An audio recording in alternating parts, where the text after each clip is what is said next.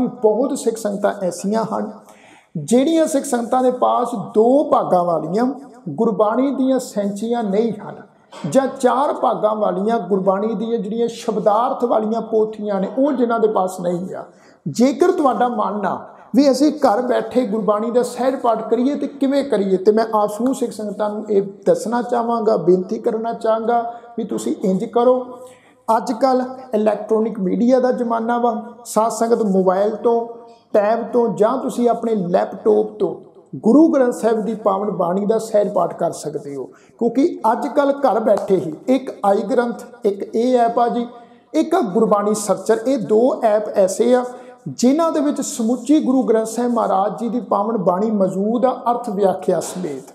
ਤੋ ਸਾਧ ਸੰਗਤ, ਇਹਨਾਂ ਦੋ ਐਪਸ ਨੂੰ ਆਈ ਗ੍ਰੰਥ ਤੇ ਗੁਰਬਾਣੀ ਸਰਚਰ ਇਹਨਾਂ ਨੂੰ ਡਾਊਨਲੋਡ ਕਰ ਲਓ।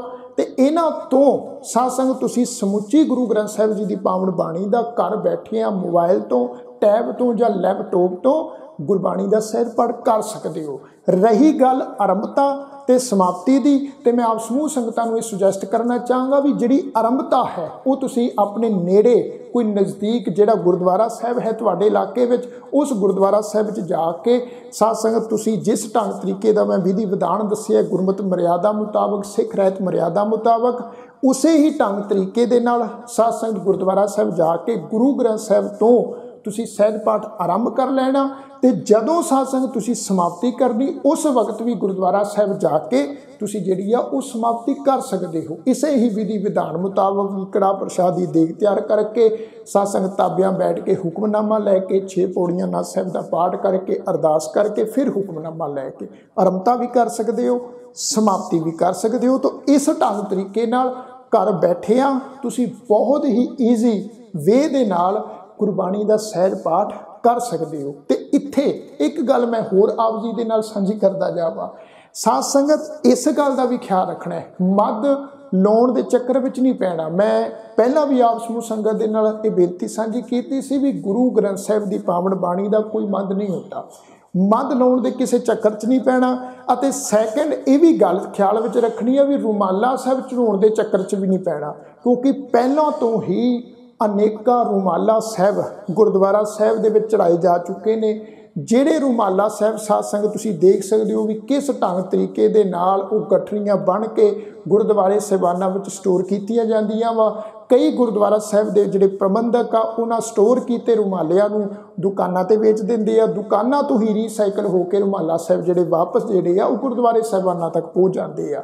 ਰੁਮਾਲਾ ਸਾਹਿਬ ਚੜਾਉਣ ਦੀ ਬਜਾਏ ਚੰਗਾ ਇਹ ਆ ਵੀ ਉਹ ਜਿਹੜੀ ਮਾਇਆ ਪੇਟਾ ਵਾ, ਉਹ ਤੁਸੀਂ ਗੁਰਦੁਆਰਾ ਸਾਹਿਬ ਦੇ ਵਿੱਚ ਦੇਖ ਕੇ ਵੀ ਕਿਸੇ ਹੋਰ ਚੀਜ਼ ਦੀ ਲੋੜ ਤਾਂ ਨਹੀਂ, ਉਸ ਲੋੜ ਮੁਤਾਬਕ ਉਹ ਮਾਇਆ ਪੇਟਾ ਤੁਸੀਂ ਉਸ ਕਾਰਜ ਵਿੱਚ ਲਾ ਸਕਦੇ ਹੋ। ਜੇਕਰ ਗੁਰਦੁਆਰਾ ਸਾਹਿਬ ਵਿੱਚ ਲੋੜ ਨਹੀਂ ਆ ਤੇ ਕਿਸੇ ਲੋੜਵੰਦ ਪਰਿਵਾਰ ਨੂੰ ਵੀ ਉਹ ਮਾਇਆ ਪੇਟਾ ਦੇ ਕੇ ਇਸ ਢੰਗ ਨਾਲ ਤੁਸੀਂ ਉਸ ਮਾਇਆ ਪੇਟਾ ਨੂੰ ਸਫਲ ਕਰ ਸਕਦੇ ਹੋ। ਤੋਂ ਰੁਮਾਲਾ ਸਾਹਿਬ ਚੜਾਉਣ ਦੇ ਚੱਕਰ 'ਚ ਨਹੀਂ ਪੈਣਾ।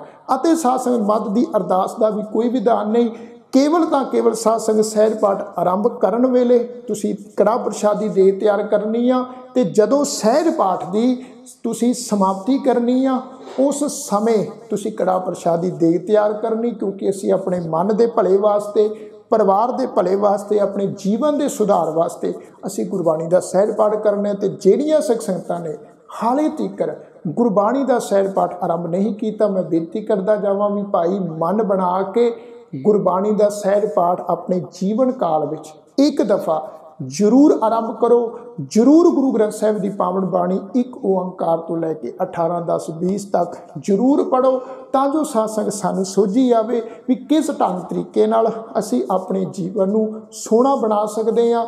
ਗੁਰੂ ਉਪਦੇਸ਼ਾਂ ਮੁਤਾਬਕ ਅਸੀਂ ਆਪਣੇ ਜੀਵਨ ਨੂੰ ਜੀ ਸਕਦੇ ਹਾਂ। ਤੋਂ ਸਾਰੀਆਂ ਸਿੱਖ ਸੰਗਤਾਂ ਦਾ ਤਹਿ ਦਿਲੋਂ ਧੰਨਵਾਦ। ਜੇ ਅੱਜ ਦਾ ਇਹ ਪ੍ਰੋਗਰਾਮ ਆਪ ਜੀ ਨੂੰ ਪਸੰਦ ਆਇਆ ਹੋਵੇ ਤੇ ਵੱਧ ਤੋਂ ਵੱਧ ਸਿੱਖ ਸੰਗਤਾਂ ਨਾਲ ਜਰੂਰ ਸ਼ੇਅਰ ਕਰਿਓ ਕਮੈਂਟ ਕਰਕੇ ਸਾਧ ਸੰਗਤ ਜਰੂਰ ਦੱਸਿਓ ਵੀ ਇਹ ਪ੍ਰੋਗਰਾਮ ਆਪ ਜੀ ਨੂੰ ਕਿਵੇਂ ਦਾ ਲੱਗਾ। ਸਾਰੀਆਂ ਸਿੱਖ ਸੰਗਤਾਂ ਦਾ ਤਹਿ ਦਿਲੋਂ ਧੰਨਵਾਦ ਆਖੋ ਜੀ। ਵਾਹਿਗੁਰੂ ਜੀ ਕਾ ਖਾਲਸਾ, ਵਾਹਿਗੁਰੂ ਜੀ ਕੀ ਫਤਿਹ।